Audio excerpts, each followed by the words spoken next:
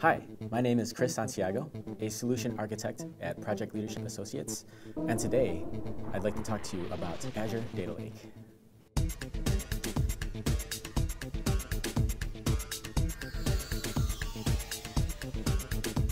So I'd like to start off by talking about what is Azure Data Lake. Uh, Azure Data Lake actually consists of two components. Uh, we're talking about the analytics piece and the store piece. The analytics service is the computing piece, and it sits on the same tier as other services like Hadoop, Spark, and Storm. All these services sit on top of Yarn, which is the operating system. On the store service, it is a web HDFS data store, which allows us to store unstructured, semi-structured, and structured data. So when we talk about data lake analytics, we're talking about uh, big data as a service. And what that means is we don't have to worry about the installation, configuration, and management of your big data cluster. Data Lake Analytics also provides us the ability to pay only for the processing power used. So uh, instead of uh, worrying about the, the cluster, uh, we're only being charged by uh, uh, per job. So when I say uh, per job, I'm talking about you know every time that we run an instance in analytics, uh, you're charged for the job instance, how many nodes that you assign to the job, as well as how long the job runs for. And lastly, Data Lake Analytics provides us the ability to increase or decrease processing power per job basis. So this is important if, let's just say, you're handling terabytes of data and you need answers fast. So we're able to throw nodes per job on that particular instance and be able to get our insights quickly. So what's the language that talks to Data Lake Analytics? And the language is called USQL. So USQL combines the declarative nature of SQL with the expressive power of C Sharp. It's a very easy language, which is very similar to Hive from Hadoop, SQL, and C Sharp. Um, in fact, it's great for developers with a .NET background. Um, when you see USQL, you'll see C Sharp methods used, and we also have the ability to extend with custom C-sharp class libraries. And finally, we're able to process unstructured data by applying schema on read, which we'll um, cover in, our, in my example in a little bit. Data Lake Analytics is an affordable and a cost-effective solution. Um, as we've kind of discussed before, it's uh, you pay on a per-job basis. There's no hardware, license, or service-specific support agreements. Basically, it's all included in the price per job. Um, you're able to independently scale storage and compute. Since the services uh, of analytics and store are separate, um, they're handled uh, independently of each other.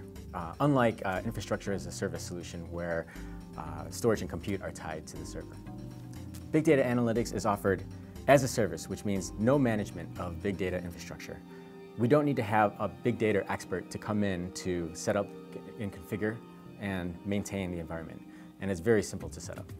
So switching gears here, let's talk about the, the Data Lake Store. So with the Data Lake Store, uh, what it provides us is it provides us the uh, hyperscale repository for big data analytic workloads. We get no fixed limits on file size, and we're built to handle big data processing. So when we say data lake, we talk about data lake in a bottoms-up approach. With the data lake, we're able to ingest various types of data types. We're talking about devices from phones, social media, uh, line of business applications, video, web, sensors from IoT, uh, relational databases, clickstream uh, data.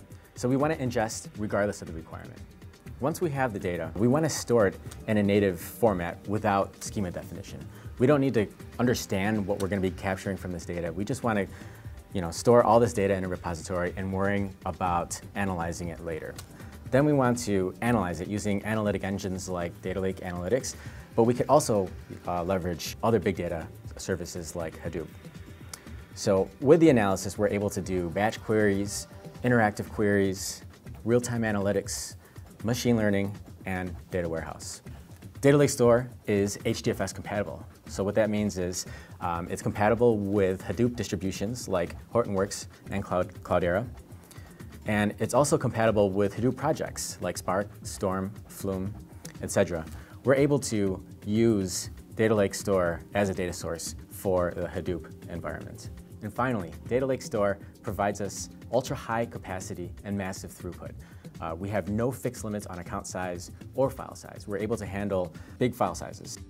Data Lake Store also provides us low latency read-write access and high throughput. And finally, it's built for running large analytic systems that require massive throughput to query and analyze large amounts of data. Data Lake Store was meant for big data. Um, previously, Microsoft was recommending using blob storage for uh, handling our, our, big data files, but uh, um, that was meant for more of a generic repository, um, whereas Data Lake Store is meant specifically for big data storage and processing.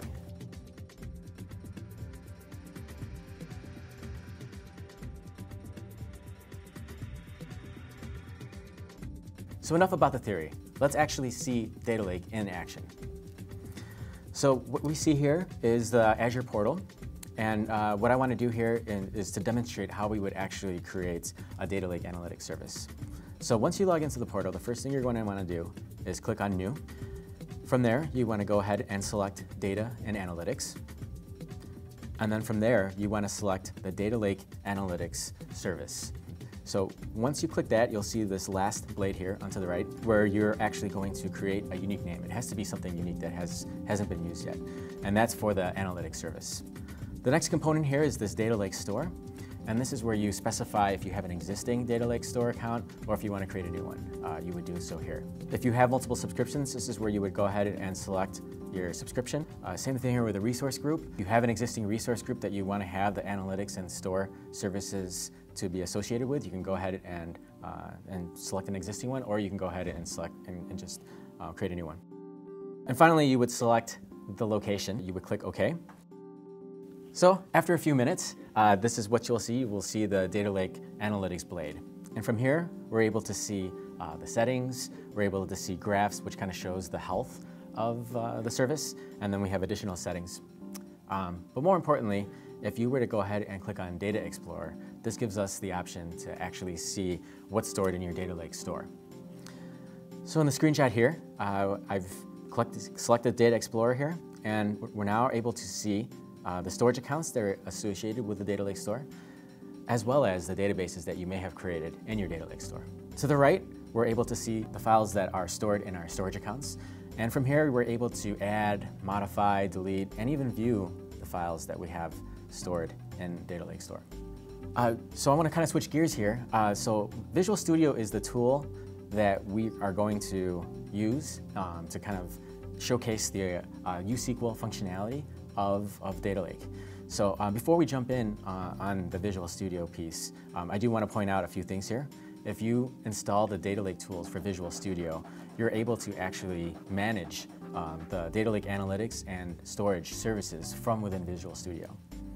So if you look here on my screen here, I have the Data Lake Analytics treat out here. When I select my Data Lake Analytics account, I'm able to view the databases much like we were able to see in the portal.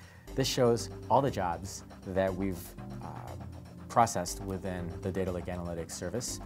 And then if we were to expand the storage accounts here, we would be able to see the, uh, the Data Lake store. Very similar to what we've seen in the portal, you know, you're able to add, modify, delete files, um, very similar to the portal, but we're able to do it here within Visual Studio.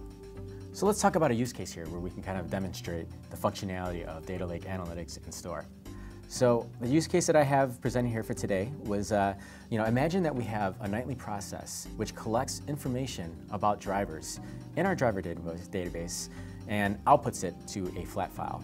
Our business wants to know uh, what are the top 10 number of drivers by state and country from the dataset that uh, that is provided. Um, screen, this next screenshot here is a screenshot of the flat file that I was speaking of that is uh, generated nightly. Uh, a couple of things I wanted to point out here is um, it's a flat file. Imagine this flat file being hundreds of rows. Within this flat file, we have columns that are separated by tabs. The first column, we've got columns for uh, driver ID, uh, name, address, country, state, phone number. Notice on the last column we have the phone number. It's uh, delimited by quotation marks. So this is kind of the flat file that we're given and now we need to do some analytics on the data that's given in this flat file. So the next screen here is an actual USQL script that, that we're going to create to generate the query that, that we want to answer. So the first thing you see here is uh, I first declare this input drivers, which is a string. And this basically gives us the, the location of the, the drivers file that is stored in our Data Lake Store account. The second parameter here we have here is the output, and this is where, where we're actually going to be outputting our data from our query. So the first thing we see here is this extract command. And this is what I was kind of referring to before about the schema on read, where we're able to take in an unstructured file and we're able to apply a schema to it. So if you recall from our from the previous uh, screenshot, you know we've had we had our columns for driver ID, name, street, so on and so forth, and now we're able to write this in a language so that we can actually query against the, the information that's in the flat file. Uh, another thing to notice here is uh, we're using this Extractors.Text, which basically is going to extract the information from our file, and we're able to give it uh, specific formats. For example, um, specifying what the delimiter is, which is, uh, which is tab in our case. Um, setting quoting to true, which basically means if we see quotes, treat that as a field. And we set the encoding to Unicode, which basically means that we're able to handle international characters, not just US characters. So now that we have the flat file represented in our query here, now we can actually do um, you know, the, the, query that we want to do for our business.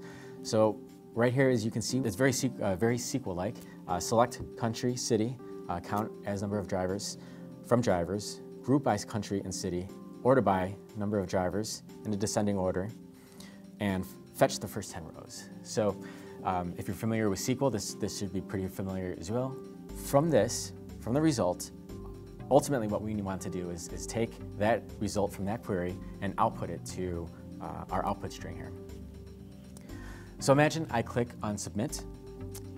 The next screen that you'll see is the, the job explorer. Um, on the left-hand side here, it gives you real-time progress of the job as it runs. So it comes from preparing all the way to finalizing.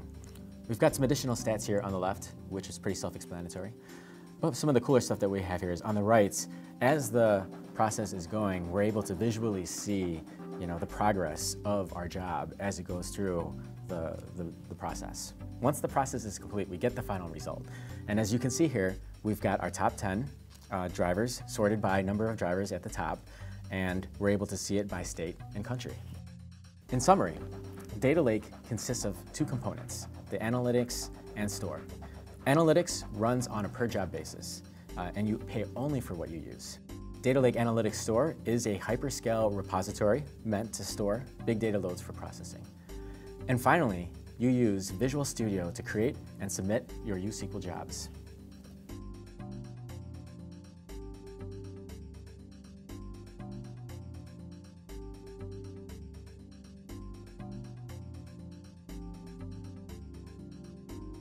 Thank you for watching my presentation on Azure Data Lake. My name is Chris Santiago at Project Leadership Associates. If you have any more questions, please feel free to reach me at csantiago at projectleadership.net.